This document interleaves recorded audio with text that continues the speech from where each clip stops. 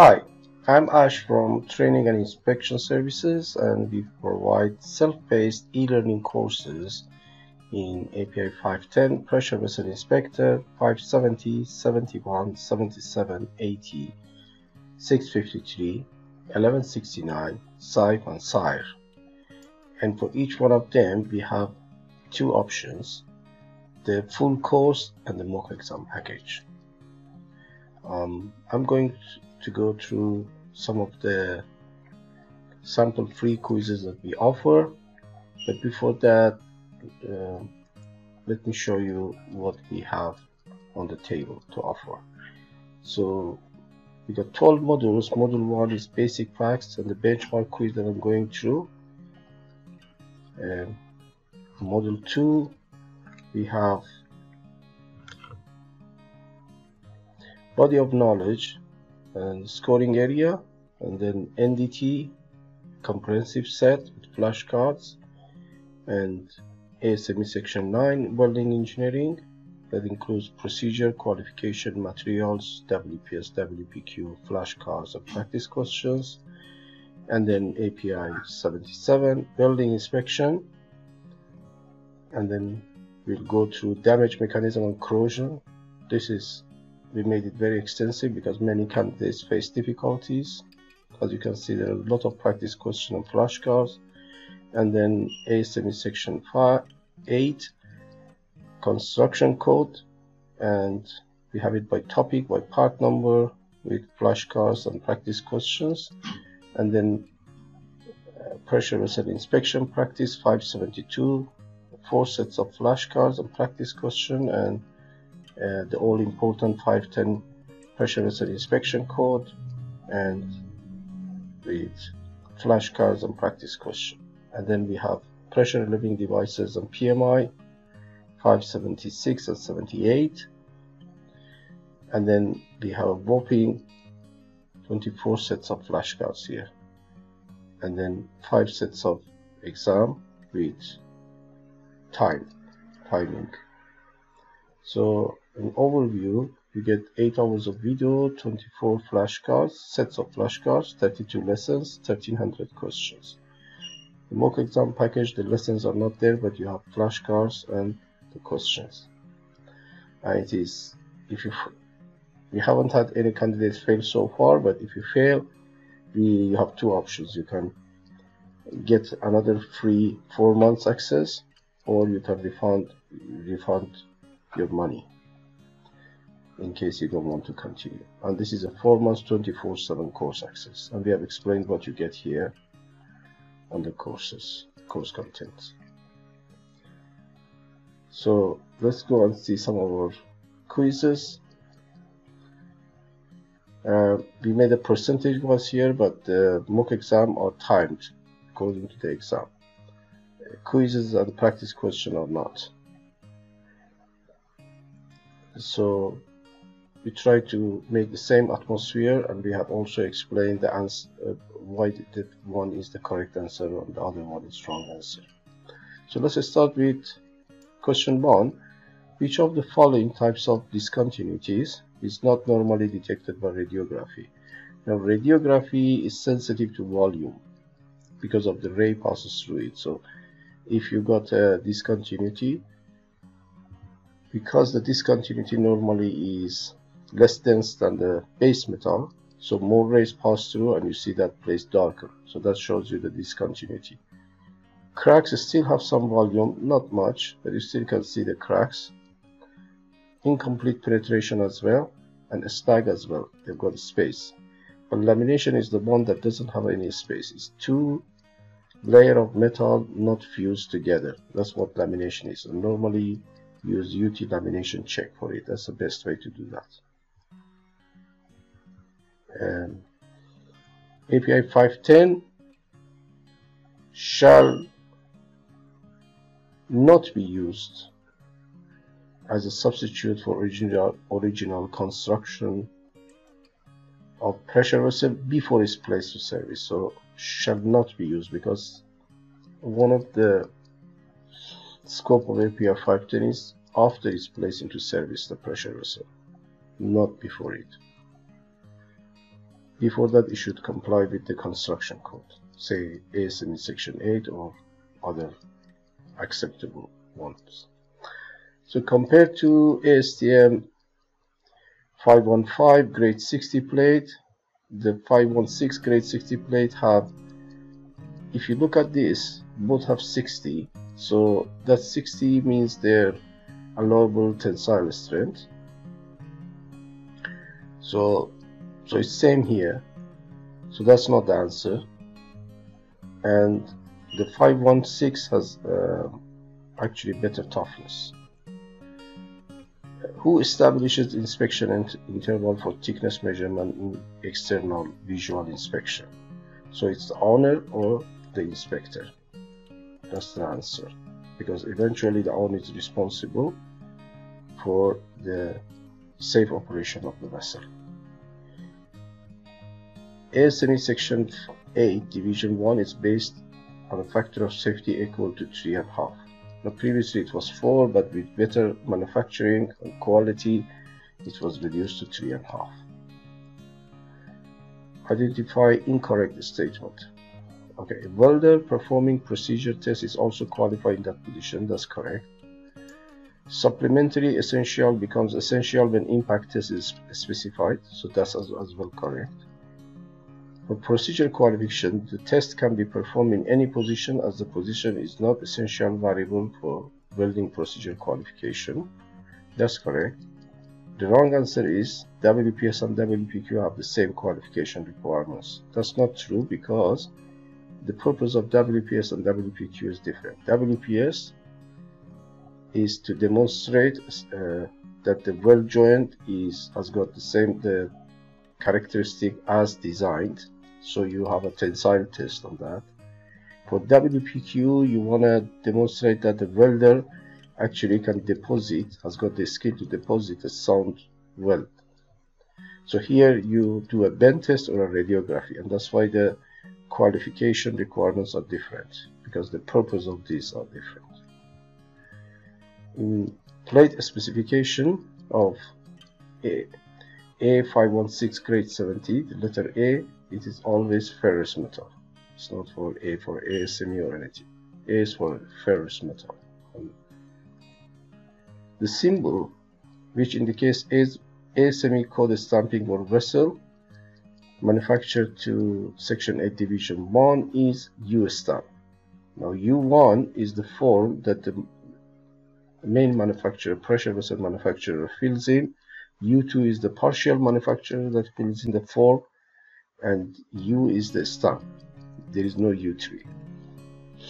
What will be the applicable mandatory addition addenda to ASME Section 8 Division 1 to be used if contract for manufacturing a vessel was signed on 14 December 2011?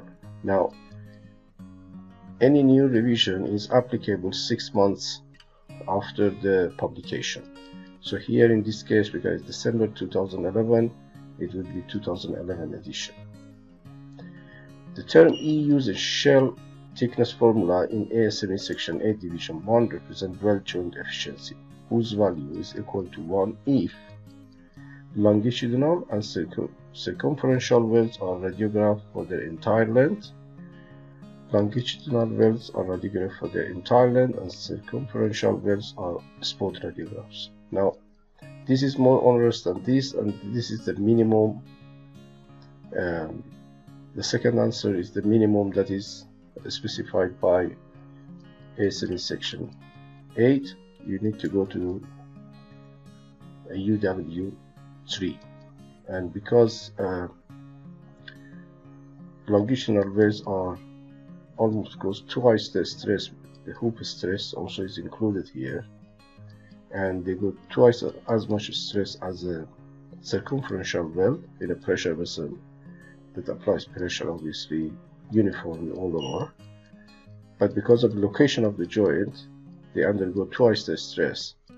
And that's why they are fully radiographed whereas circumferential welds should be radiographed should be spot radiographs and still they both have the um, joint efficiency 1 because they got the same thickness but because of the location.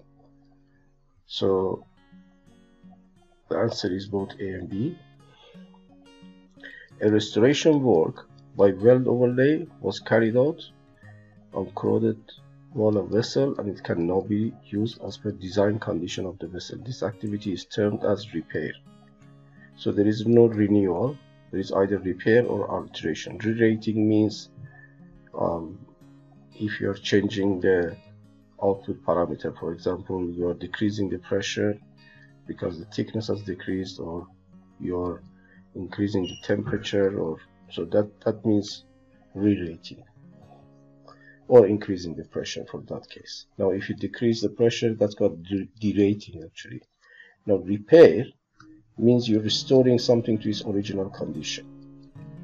Alteration when there is a change in a major change that affects the design calculation of design input so the, the vessel engineer should be involved the repair should be um, approved by the inspector, whereas alteration should be approved by both the inspector and the engin uh, engineer, vessel engineer. In certain MT check, uh, you found the discontinuity was 4 millimeter, but after measuring it, say with a magnifying glass or uh, more accurately, suppose it turned out to be 2.5 millimeter. Now, if the acceptance criteria was 3 millimeter, so what you should do? Do you revert your decision? Um, you actually don't do that because uh, if you do that, then all your previous uh, examination need to be repeated with the same. So, and also remember that uh, the way you measure is one of the essential parameters um, of the procedure. So you're actually changing the procedure. So you don't go to all this trouble, even though Later on, it found out to be less than the acceptance criteria could be accepted, but because you used it with uh, um, a visual check or uh, with, with, some type of other measurement that's supposed to be 4 millimeter, then you still stand your verdict and you reject it. ASME code requires averaging of impact test value of how many specimens? 3. This is a straightforward question the inspector should know and uh, here uh, the criteria is uh, the average should not be less than the required average the value of impact test and uh, none of them should be less than two-thirds of the minimum average. Um, we have brought this in some practical type of questions, sorry, the open book uh, type of questions, calculations, if you buy our package. Stainless steel weld has a crack open to the surface, so which NDT method will reveal it most effectively? Now, stainless steel can, cannot be magnetized. It's not ferromagnetic, so you cannot use magnetic particle. You might use radiography and UT, but liquid penetrant is more um, is easier to find, it's cheaper to find, it's quicker. So you usually use this method, liquid penetrant. Uh, and if it's open to surface, normally have, you have a trouble with that.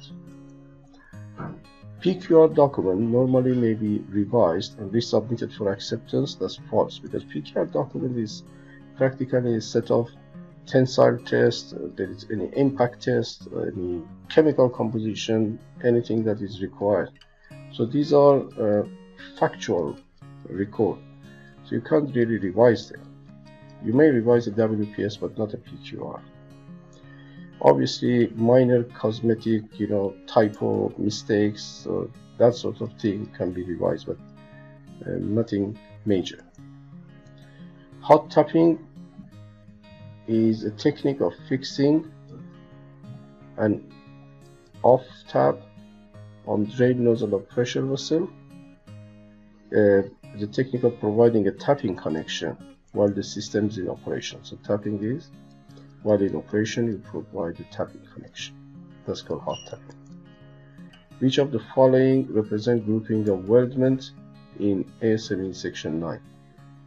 Now P numbers is the grouping for base metal, F number for filler metal or consumables, and A is for the weldment. Remember that A, the weldment, is not filler alone, it's a mixture of filler and base metal. So it's practically another type of material. It's not exactly the filler it's not exactly the base metal because once the filler is melted it also melts the base metal and it creates uh, a new material actually practically.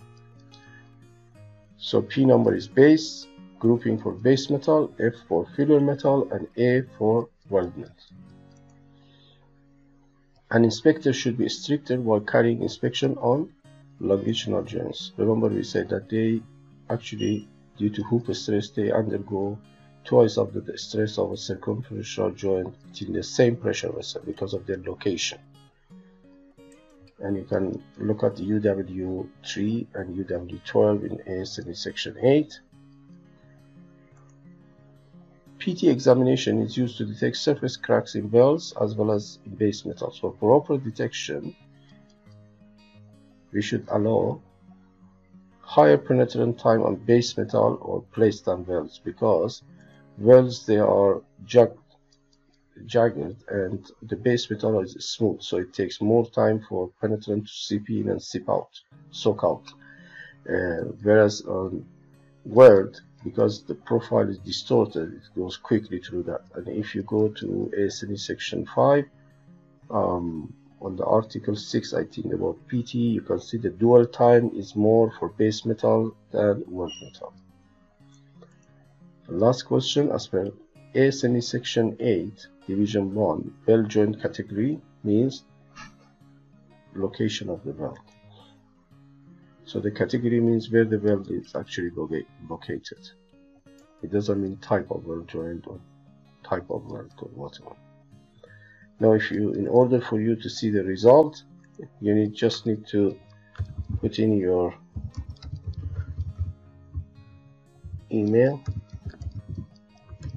and your name and you can view the results and see how you have done. And as you can see I made 19 points out of 20 points and you can see whatever is ticked and you answered it's green means you answered correctly. And it also we also put the reason why this is right answer here for example. So let's go through and see what we what mistake I made. So practically because it says according to the ASME section 8 division 1 whose value is equal to 1 if. So because this is correct so you really don't need to go that far. Um, obviously um, you don't have both A and B none of the above all of the above. That sort of answer in API so I intentionally made it so you, you uh, put a wrong answer because I wanted you to know that um, to read the question more um, carefully here. So the minimum requirement, requirement according to ASME is that the longitudinal radiograph for entire length and circumferential are spot radiographs. Thank you for watching guys and you can also see our first module for free if you have any query you can write to us um, contact us form or you can uh, use our whatsapp and um, send us a text message or even you can call us. Thank you for watching